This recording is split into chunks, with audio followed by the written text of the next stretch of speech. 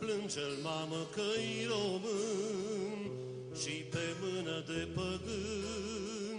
Și în deacul blestemat noi cei liberi l-am uitat.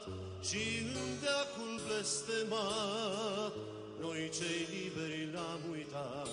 Așadar, astăzi la Chișinău este zi de doliu, în amintirea raptului teritorial săvârșit de ruși împotriva poporului român, nu însă și în Republica Moldova. Propunerea șefului liberalilor de peste Prut, Mihai Gimpu, de a declara ziua de 16 mai zi de doliu național, a fost respinsă de Parlament. Am ajuns după 22 de ani de independență să manifestăm mai mult lașitate decât să rostim adevăruri, a declarat președintele Partidului Liberal din Republica Moldova. Și clasa politică românească a ales să treacă sub tăcere comemorarea, iar televiziunea publică nu a difuzat niciun material despre cei 200 de ani de rusificare a Basarabiei. Jurnalistul George Damian a descris din perspectiva prezentului, într-o ediție specială The Money Channel, relația dintre cele două state surori, România și Republica Moldova pe de o parte și Rusia de cealaltă parte. Unul din obiectivele politicii uh, ruse și ucrainene în Republica Moldova este ca Republica Moldova să stea cât mai departe de România.